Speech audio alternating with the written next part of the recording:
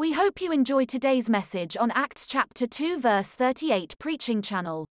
Please like, comment, subscribe, share, and hit the bell to help us grow. And if you have your Bibles, I would like to direct your attention to the book of Acts, chapter number one.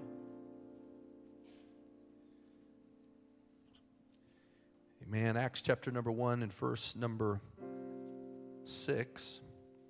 So glad for all of our guests that are here tonight. Good to see um, Jada and Cyrus. God bless you. Love you so much.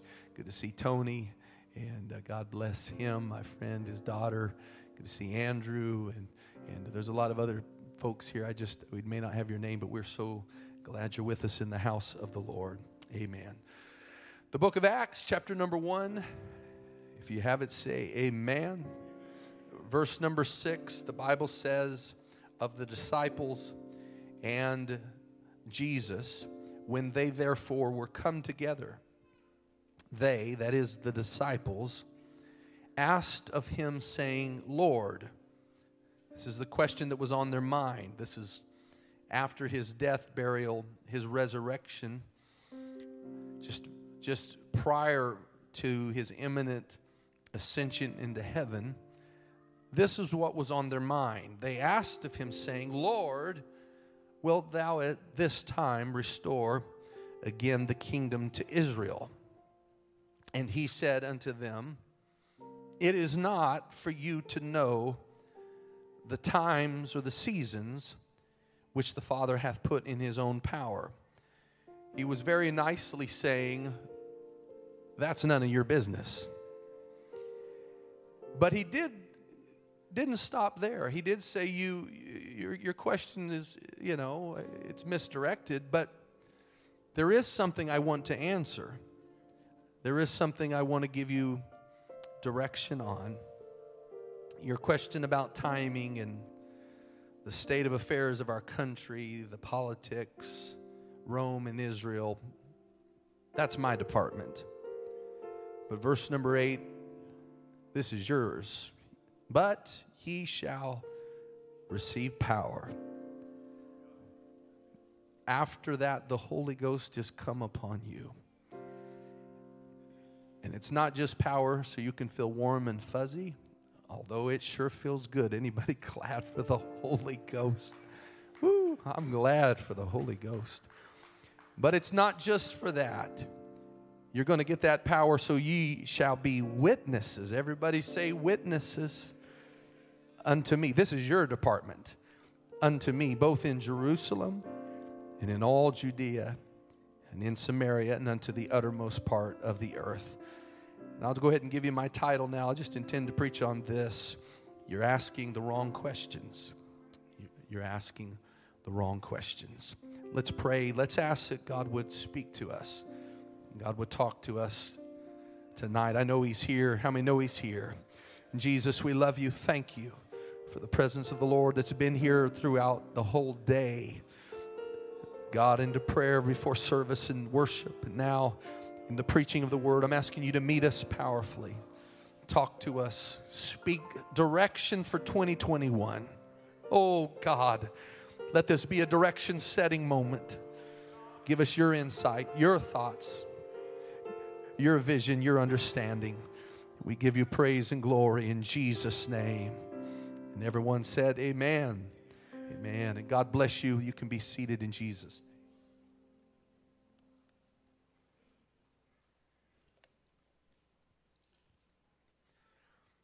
The disciples' question in verse number six can be a little bit uh, cryptic if you're not up to date with the context uh, of the question. The disciples asked Jesus, they said, Lord, wilt thou at this time restore again the kingdom to Israel? The reason for this question is that Israel at this time was not a sovereign nation. It, was a sovereign nation, but it was not a, an independent sovereign nation. The country of Israel was, was under the, the boot, if you will, of the empire of Rome. Rome had conquered Israel and assimilated it into uh, the Roman Empire, the powerful Roman Empire. Well, you can imagine the, the feeling of the disciples. This had happened about 100 years before, 63 BC is when Rome conquered Israel. And the disciples, along with the rest of Israel, were waiting for the day that they would have independence from Rome. In, and not only that, but uh, the Israelites, and specifically the disciples that we're talking about now, had an expectation that the Messiah, when he came, would set them free from Rome. At least part of their view of the Messiah is that he would be a set up a secular kingdom. And again, it'd been about a hundred years, if I have my timing right, that Israel was under the the the the, uh, the dominion and the reign of the Roman Empire. And so, again, with that understanding, I'm going to ask, uh, read the question that they asked again when they said, Lord, will you at this time restore again the kingdom to Israel? You've, you've died on the cross, you blew our minds when you were resurrected from the tomb. We are amazed at what you've done. Surely, God, surely it is time for you to reestablish the Israel uh, that we, we, we've been looking for. They were believing that the time had come for Rome to be thrust out, that Jesus would set up the kingdom of Israel as an independent uh, kingdom. And so their question was about timing. It was about, uh, are you going to do it now? are you, we've, we've waited long enough. A hundred years, a century is surely surely long enough. And uh, the question is about timing, but it's also about the politics of their day. It's about their country. They were concerned about their country's direction. Does anybody feel their pain tonight? Implied in their question was the idea that God could fix this if He would. The, implied in their question is that Jesus, you have the power. You you, uh, you told us that all power in heaven and earth is yours, and will you now deliver us from the Roman rule, from the boot uh, of Rome, from the heavy taxes, from the tyrannical rule, from the iron fist of the Roman Empire? And so the question, Lord, will you restore now the kingdom of Israel? It's about timing, it's about politics, and it's very focused on Israel. They, they are not at this point very much concerned about anybody else. They're not all that worried about any other countries. They're not all that worried about Rome for sure. This question implies a, an inward view. They were they, an introspective view, a local, provincial view. God, when are you going to fix our problem? The timing of our politics, our country, and its direction. But Jesus answers them but not in the way that they thought he would. He's polite, but as only Jesus can, he firmly tells them, This is none of your business. He tells them that this timing of this question of timing, he says, when it comes to times, when it comes to seasons, that's not for you to know. It's not for you to know. And it's interesting, the Bible lets us know that a lot of times, the Bible and Jesus specifically would tell us that, that when it comes to timing questions, the Bible doesn't usually give us answers on those.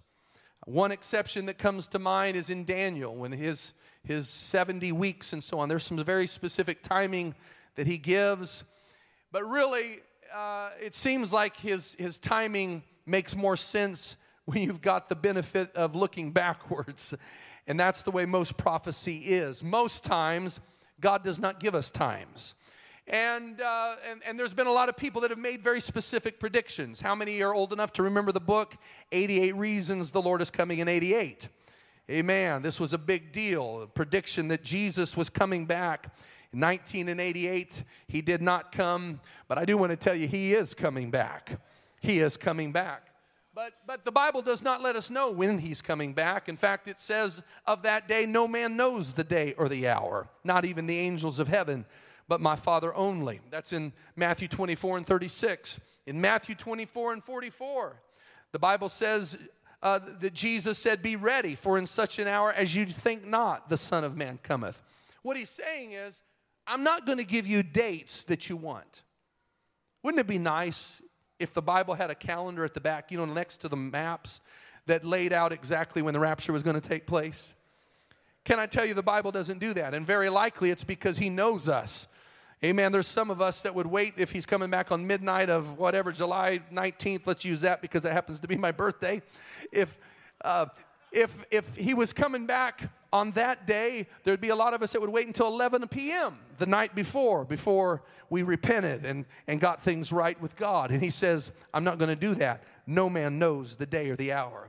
Mark echoes this uh, that, that there's not a timing he's going to give when it comes to the rapture in Revelation 3 and 3, it says that, that he, he says, I'm coming as a thief.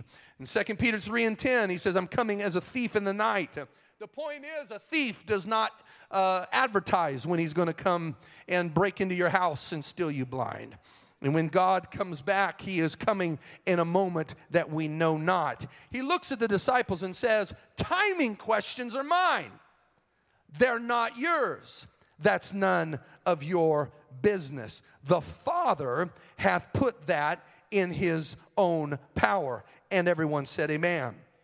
This word power, when it says the Father's put it in his own power, that there's a few words in the Bible that refer to uh, they're Greek words that can be translated as power.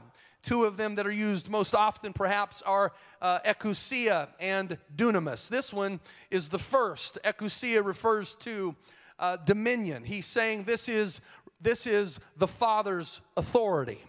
This is the Father's department. This is his jurisdiction. It is, it is his power and authority. When it comes to timing questions, this does not belong to you. Now, I, I, I really feel like God gave me these verses a few, a couple of weeks ago when I was thinking about this upcoming new year. I was thinking about 2021 in context of 2020, and my question was, Lord, has anybody asked this question? Will 2021 be a better year? Maybe you've not said it, but you have wondered it, and if you say you haven't, you're lying. Amen. And I that's not to imply that that God was not good to us in 2020. Amen. There's but but when it comes to some of the the the the the, the, the realities of the year, the the, the details of, a, of secular life, of living life, the pandemic, politics, all of that. Uh, it's, been, it's been a deal. But I want to say again, God did keep his hand on us through 2020. And I know some of you that I'm talking to experience great pain, some experience loss. But can I tell you, God has kept his hand upon us. And one of the things we're feeling in this house tonight is the everlasting arms of God that are underneath us. And I, for one, am so thankful that God has kept us by his power. Amen. 2020 was an interesting year, but I want to remind you and I want to remind the devil that God did some great things in 2020. Amen. I thank God for the souls that He filled with the Holy Ghost. I saw David Hernandez out there. God, he was filled with the Holy Ghost. And where you at there? David, won't you stand? David got the Holy Ghost, was baptized in Jesus' name. Last one to do it in 2020. Amen. Little Paxton Lee. I don't know if he's here or not. Paxton got the Holy Ghost, got baptized in Jesus' name. And David Coronado and his uh, got the Holy Ghost, got baptized in Jesus' name. Sister Socorro, your brother Richard, got the Holy Ghost. Isaiah and Kezia Allende both received the Holy Ghost, baptized in the name of Jesus. Uh, my friend Yvonne, that I've been teaching a Bible study to, he got the Holy Ghost, uh, was baptized in the name of Jesus. Brother Keaton prayed back through. Alex got the Holy Ghost, was baptized in Jesus. Jesus' name. Sister Sarah Nolan on the front row got the Holy Ghost in 2020, was baptized in Jesus' name. Just a few of these. Daxon Reichard got the Holy Ghost, was baptized in Jesus' name. Patricia Rodriguez, every one of these ought to make somebody shout and devils run. They got the Holy Ghost in 2020.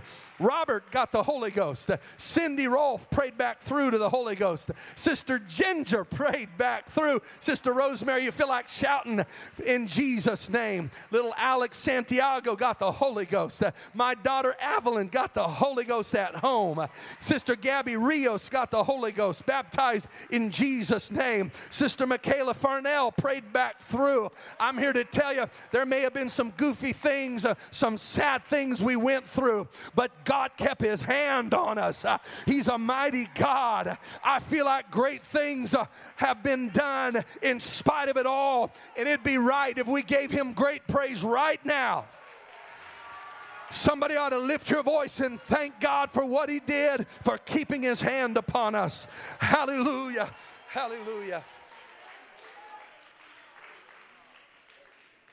You can be seated, and I don't know about 2021. I don't know all the details. But I do want to tell you, I feel a Holy Ghost excitement about 2021. Oh, yes, I do. Devil, you're a liar. I rebuke you in Jesus' name. Amen. COVID may continue, and we're going to be smart about it. I don't know what's going to happen. You don't know what's going to happen. Some of those timing questions, you have no idea. That's my whole point of my message. I'm blowing it right now. But I'm here to tell you 2021, Jesus is in control. And I will tell you this it's going to be a year of revival, a year of growth. Brother Julian, you had it right. The gates of hell shall not, will not, did not, never will prevail against the church. It's going to be a year of expansion on the left hand and on the right. 2021, a year of ingathering, a year of evangelism, a year of harvest from all those Bible studies we've been teaching. Can I hear an amen? I feel a year of reaping, a year of blessing. You sung it tonight, ensemble, a year of God's favor, a year of God's smile. I believe 2021 is going to be a year of the backslider coming home, the prodigal coming to himself the lost sheep returning to the fold, the lost coin being reclaimed. Come on, sister, 2021, I believe, is going to be the year where somebody says, My husband was saved in Jesus' name. Come on, sir. 2021, I believe, can be the year your wife comes to truth. It can be the year your children repent, are baptized in Jesus' name, and are filled with the Holy Ghost. I want to preach to every spirit that has the guts to listen. I don't think there's many out there right now that's in this place, uh, but I rebuke you, Satan. Listen to this uh, 2021 is going to be a year of healing, uh, it's going to be a year of the miraculous, it's going to be a year, yes, it will, a year of the supernatural, a year of the anointing, a year of the Shekinah glory of God filling this house. I preach tonight, it's the will of God for 2021 to be a year of deliverance for the alcoholic, a year of chain breaking for the addict, a year of freedom for the bound, a year of liberty for them that are bruised. Hallelujah. I don't care what the past has been, I don't care what you've gone through. I still tell you that God is in control and I preach uh, 2021 a year of hope, a year of faith, a year of power, a year of love, a year of joy, a year of peace, a year of your promise being fulfilled, a year of prophecy coming to pass, a year of the word from God being done, a year of prayer, a year of fasting, a year of worship, a year of praise, a year of shouting, a year of dancing. Hallelujah. I believe it's going to be a great year year. And if you believe that, you ought to stand to your feet. You ought to lift your voice. You ought to clap your hands and give God a shout of triumph.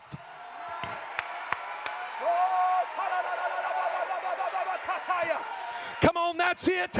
You need to hear it. The devil needs to hear it. The world needs to hear it. Jesus needs to hear it. Hallelujah.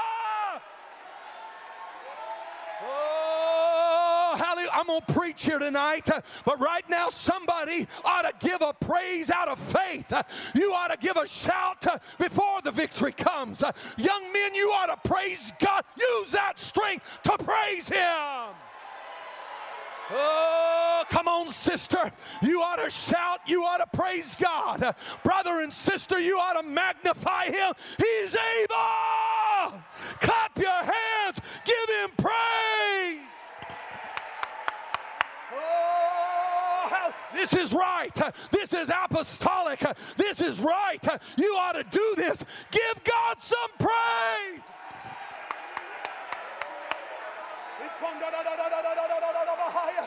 You ought to praise Him for your husband being saved. You ought to praise Him for those grandchildren coming to an altar, repenting, getting the Holy Ghost. You ought to praise Him for that backslidden friend coming back to church. You ought to praise Him. Whoa, hallelujah. Hallelujah. Come on, one more time. Clap your hands and give Him some praise. Hallelujah. Hallelujah. As you make your way back to your seat, I've come to tell somebody that God is in control. Look at your neighbor and tell him God is in control. Amen. Now, let me tell you, my question to God was Is 2021 going to be better than 2020? And I, I'm going to tell you the truth is when it comes to politics, I have no idea, and neither do you. If you really think you know, after all we've been through, might, I don't even know what to tell you. When it comes to our country and direction, and I love the United States, it may get better, it may get worse. I'm sorry to say that biblically, when I read my Bible, societies, politics, nations, and people, it generally has to get worse before it gets better. And so the other day when I was asking Jesus, how's 2021 going to be as far as, you know, just some of the stuff I'm tired of dealing with, I feel like Jesus politely but firmly said, that's none of your business. It's not for you to know. It's God's department. Can I tell you, it's God's department. It's not your department. Honestly, that ought to comfort somebody. Amen. The, the, the, deal is, that's not us that is not ours to figure out. It's his department. When it comes to timing, when it comes to politics, when it comes to Rome, when it comes to Israel as a sovereign nation, when it comes to the direction of our country, it's not ours, it's his. Can I be blunt? Don't get sidetracked by what Governor Newsom is doing. That doesn't, that doesn't mean that you don't vote. That doesn't mean that you're not a good citizen. It, it, just means there comes a point where you talk about it. We all talk about it and work our way through it. But that cannot be that, that Biden and Trump, wherever you stand, are your priority. Talk about politics, but don't let it be your breakfast, lunch, and dinner. I know and you know there is government overreach happening. Amen. But don't let that be the focus of your life. Civil liberties are slipping. The Constitution is being shelved. The Bill of Rights are being shoved into a back corner, and that should concern you. But that is not your dominion, your power, your authority. It's not your department. That doesn't mean you don't care. That doesn't mean you don't vote. But at the end of the day, you cannot control it. Rome came and took Israel over. I could go through history, and at the end of the day, it's not the church's department, it's God's department. My Bible says our God is in heaven, He hath done whatsoever He pleased. That is God's dominion. I've been saying it for nine months, and I want to say it till you get it. Leave it in God's hands. Doesn't mean we don't care doesn't mean we're disinterested. But the Bible says, Thine, O Lord, is the greatness. Thine, O Lord, is the power. Thine, O Lord, is the glory and the victory and the majesty. For all that is in heaven and in the earth is thine. Thine is the kingdom, O Lord, and thou art exalted as head above it. In the book of Daniel, it says that God removeth kings and he sets up kings. Did you hear me? God puts up presidents and God takes down presidents. Again, that doesn't mean you don't vote and you don't vote as a Christian. Doesn't mean you don't care. But at the end of the day, you got to back up and say, God, that's your department. Church, we are not a political society. We are ultimately not a political group. We are Christians that believe the Bible is the Word of God. Everything we do is flavored with the Word. Our marriage is flavored with the word. Our view of marriage is flavored with the word. The view of innocent life is flavored by the word and directed by the word. Unborn babies, we get our understanding from the word. But at the end of the day, we are Christians. We are Christians. We are not politicians. We are not patriots alone. We are Christians. We are we leave it in God's hands. That's his kingdom. That's not to say we don't vote and don't care, but Jesus is saying that's none of your business. And you can do all you want, but at the end of the day, he'll put who he wants up and he'll take them down if he wants. Uh, you can do all you want, uh, but at the end of the day, there's a God that sits in the heavens uh, and he is the King of kings. He rules and he reigns.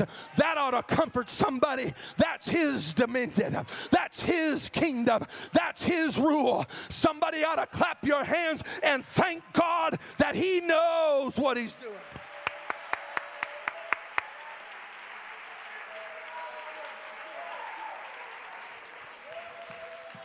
Hallelujah. I hear Jesus very politely saying, Good question, but that's none of your business. That's not yours. That's the Father's business. That's God's dominion. He rules and He reigns. You're never going to push past the will of God when it comes to that area. Look at history. Look at history. But I heard it tonight, Brother Reichert. Uh, you heard it from Bishop Wilson today that the kingdom of God is not based, and its success is not based on the kingdoms of this world. Jesus said, You're on another kingdom. You're, you're, you're working on another thing altogether. That's not your department, that's mine. But then he says, There is another area that belongs to you. You're asking the wrong questions. How's 2021 going to be? What's it going to be like? When's Corona going to end? Will it be March and April? Will it be with the vaccine? I want a date. Tell me when, please.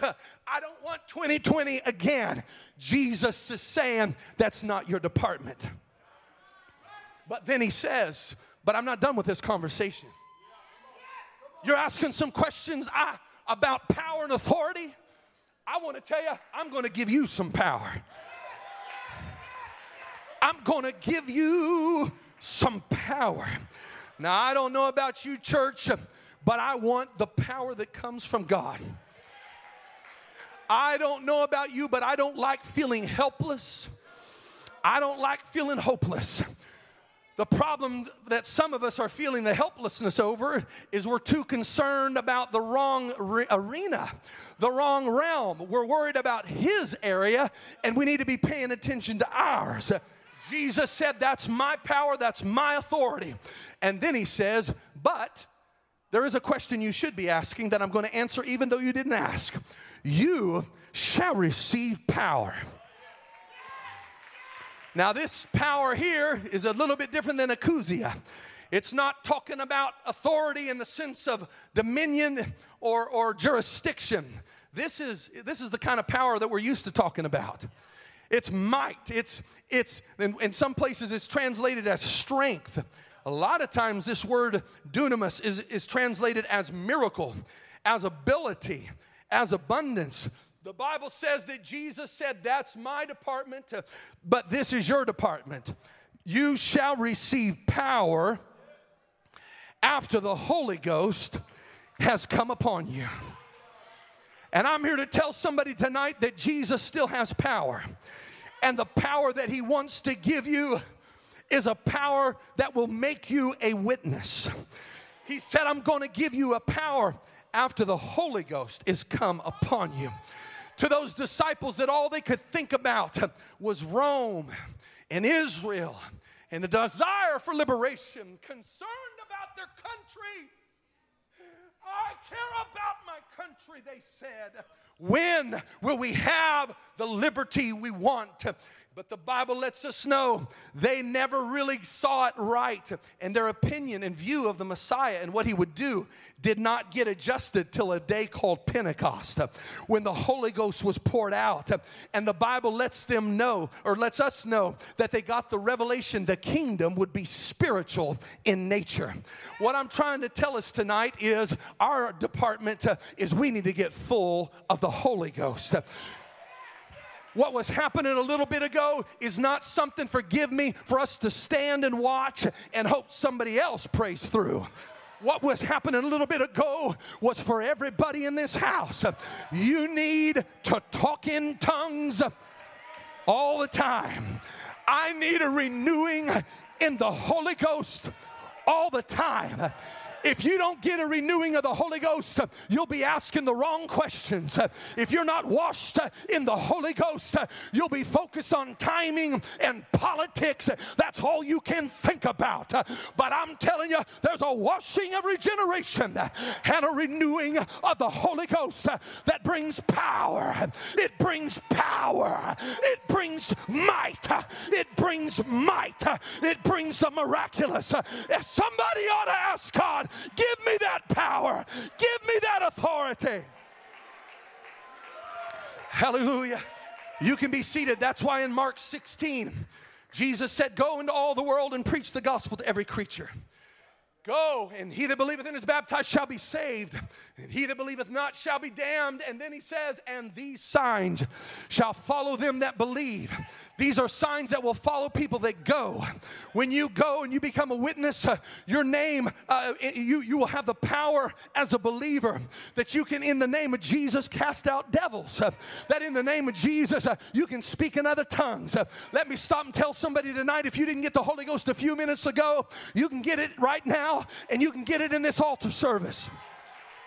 If you're here tonight uh, and you need a renewing in the Holy Ghost, uh, you can speak with new tongues. Uh, there's power for it. Uh, there's power for it. Uh, it's in this house. Uh, there's power to speak in other tongues. And Jesus said, if you are full of the Holy Ghost and you're going into the world, you'll have power that you can take up serpents. And if they drink any deadly thing, it shall not hurt them. They shall lay hands on the sick and they shall recover. This is our department. This is our arena. This is where we are supposed to be going. Hallelujah. Hallelujah. You can be seated. I want you to hear me. The Bible says that these disciples that they got an understanding. You shall receive power after the Holy Ghost has come upon you, and you shall be a witness. Church, that's our department. Did you hear me? That's the question you should be asking. That's what you should be wondering about. That's what you, should be thinking about breakfast, lunch, and dinner. That's what you should dream about. Soul winning, souls going.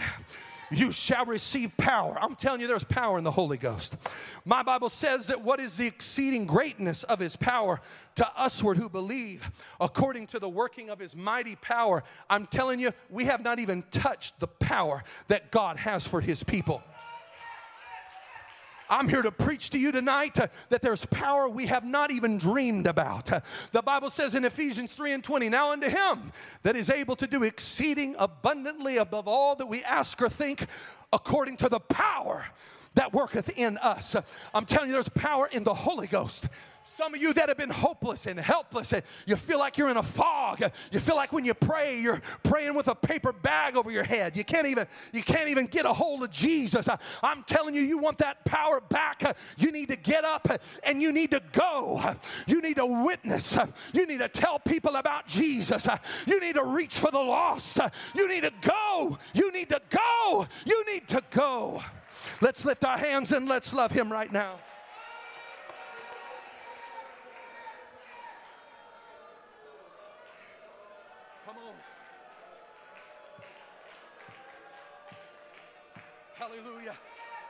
I feel the Holy Ghost. I feel Jesus here. Hallelujah. I feel the winds of the Holy Ghost blowing out some, un, some weird thinking. I feel the wind of the Holy Ghost wanting to blow out some fear, some doubt. I, I feel like the wind of the Holy Ghost is here to help somebody. I, I feel like Jesus is here to give you a new focus for 2021. Quit asking about the timing of when's it going to end. Leave that in His hands, leave it in His department. You shall receive power after the Holy Ghost has come upon you, and you shall be a witness. Some of you need to go and get you a Bible study chart. Some of you need to go and get you a Bible study. Some of you need to go knock on a, uh, a neighbor's door. Some of you need to text somebody you haven't texted in months. Some of you need to reach out to backslidden family and tell them Jesus is coming back. You got to come back to church. He's coming back. You got to be saved. Come on, some of you need to go. You need to go. You want power? Be a witness witness. You want power? Be a witness. You want power? Be a soul winner. He doesn't waste his power on just anybody. He didn't waste his power just so you can feel some goosebumps on a Sunday night. He doesn't waste power just so you can feel warm and fuzzy. But you shall receive power. After that, the Holy Ghost has come upon you, and you shall be a witness. Come on, get up. Somebody needs to get up. Somebody needs to go. Somebody needs to pray. Somebody needs to fast. Somebody needs to get on fire. Somebody needs to win somebody to God. Come on, let's love Him. Lift your hands and love Him right now.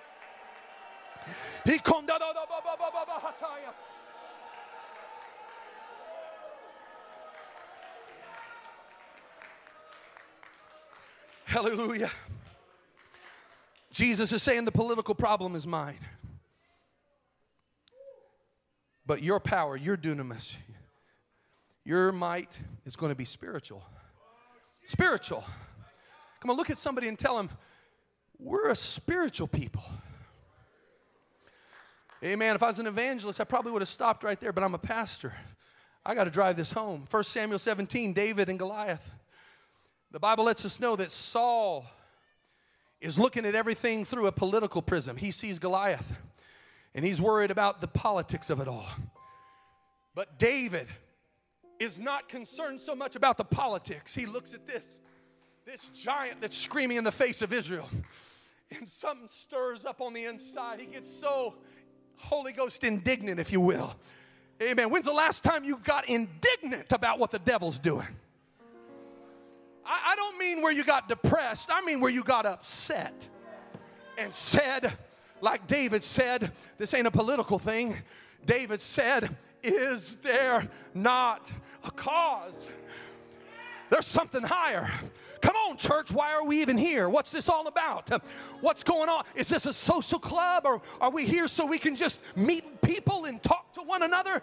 Is that why we have youth departments and Sunday school and Bible quizzing? Now, I'll tell you why we have it. We have it so we can go and reach. There's a cause, there's a lost world.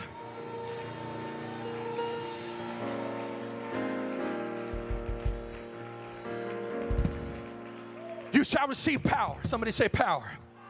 After the Holy Ghost has come upon you. And then he said to those disciples, Listen, you'll go into Jerusalem. And Peter's listening. Oh, hallelujah. And a few verses later, the Bible says Peter goes to Jerusalem and the power of God hits him. He says, You'll go to Judea. All those apostles were listening and they they did that. He said you'll go into samaria. I think i could i'd be surprised if philip wasn't in there somewhere. He goes to samaria. He says you'll go to the uttermost part of the earth. Is there anybody tonight that'll take that up and go? I'm here to tell you you want power with god it's time for somebody to get up and go God does not just give us power so we can do tricks. He doesn't give us power just so we can, you know, see supernatural things and brag about it. Amen. These signs shall follow them that believe after they've gone. Go into all the world.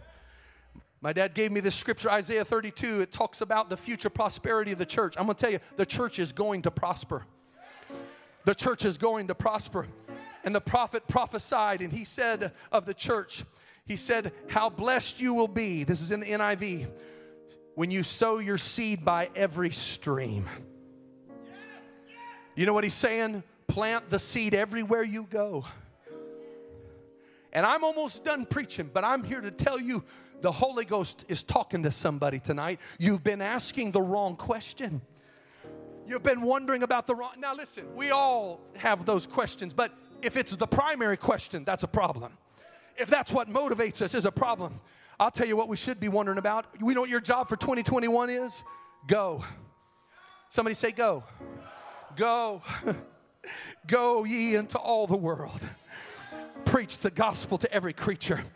It's time for us to go everywhere. It's time for us to plant a seed by every stream. Can I talk to some young ladies? It's time for you to go to every house. Young men, it's time for you to go to every apartment complex. It's time to, for us to go to every HOA, every neighborhood, every community, every zip code, every unincorporated area, every town, every city, every region, every metroplex in the Inland Empire. They got to have somebody that goes. It's 2021. And I feel like the Holy Ghost is talking to somebody. He's trying to refocus you. Hey, hey, hey, hey, hey, hey, listen up. Somebody's got to go. You want power, Brother Armando? God's done incredible things in your life this year. It's a testimony to what God has done to see you standing here worshiping, shouting God, shouting, praising God. I believe God's got even more for you, buddy. Just keep on. It's time for you to go. It's time for you to find a Bible study. It's time for you to reach for somebody. Come on. Come on. He's talking to somebody. It's time for somebody to go to Rialto. It's time for somebody to go to Colton. It's time for somebody to go to San Bernardino. It's time for somebody to go to Bloomington. You'll receive power. It's time for somebody to go to Fontana and Muscoy and Grand Terrace and Riverside. Go, you shall receive power. It's time for somebody to go to Loma Linda and Redlands and Yucaipa and Banning and Beaumont. Ontario needs somebody to go. Rancho Cucamonga, Alta Loma, Upland, Covina, West Covina, Eastvale, Norco, Corona, Phelan, Hesperia, Victorville, Apple Valley. Somebody needs to go.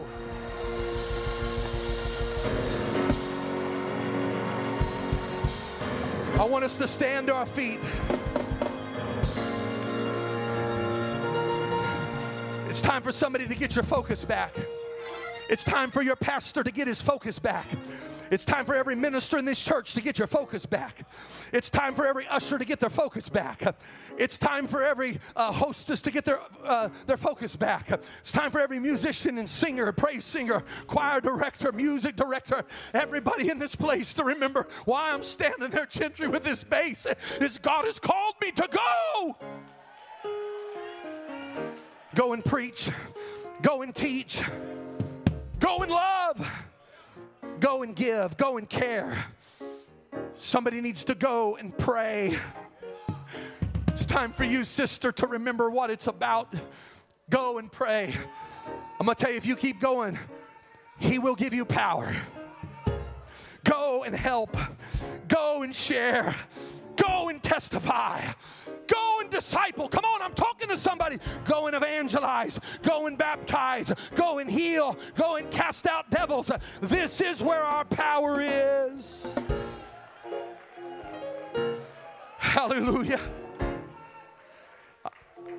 These disciples said, Lord, when are you going to restore the kingdom to Israel? Do you know it did not happen for hundreds of years? And really, really, it didn't happen for about 2,000 years. In 1948, when God reestablished them as a sovereign nation, I know there was ups and downs and some times throughout. And he says, that's my department. I'm not here to depress you. I'm not saying Corona's going to be around for 2,000 years. But I'm telling you, it's his timing. Did you hear me? It's his timing. Did you hear me? It's his department. What is our department? You shall receive power. After that, the Holy Ghost is come upon you. Somebody needs to get lost in the Holy Ghost again. And when you do, you'll want to go again. You'll want to go again.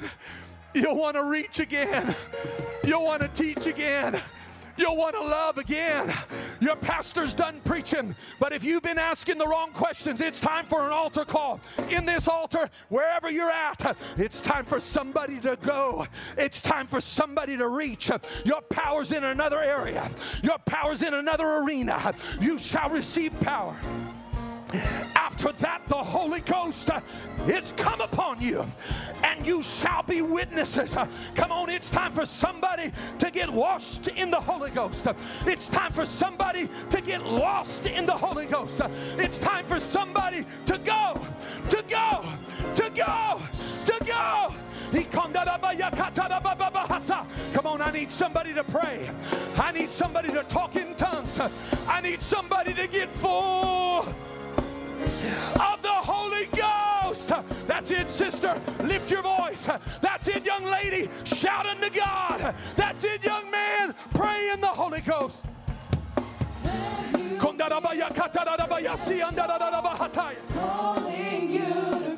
Come on, the Holy Ghost is one to move in this altar. Oh,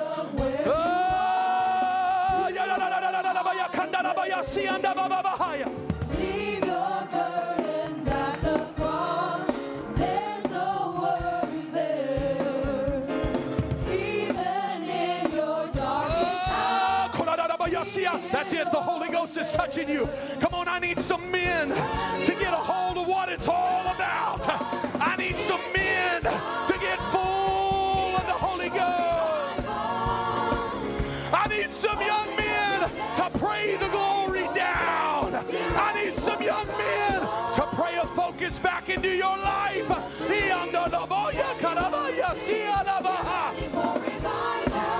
Shall receive power. You shall receive power. You shall receive power. Come on, I feel the power of the Holy Ghost. You shall receive power.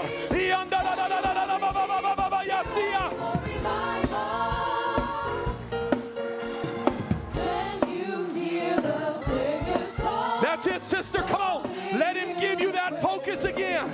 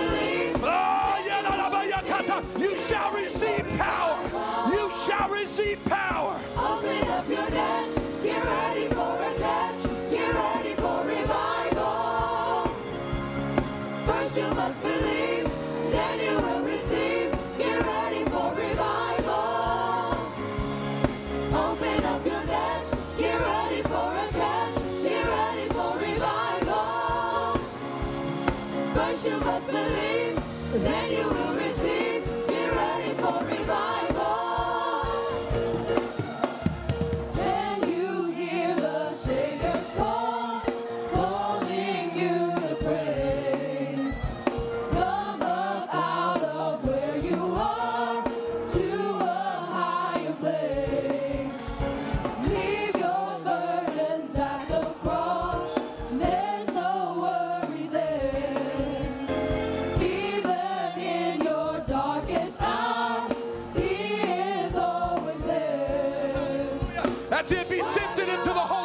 Come on, I need some people to be sensitive to the Holy Ghost. Oh, that's it. I need some preachers to pray one for another. I need some preachers to move through this altar. Come on, be sensitive. I need some sisters to pray one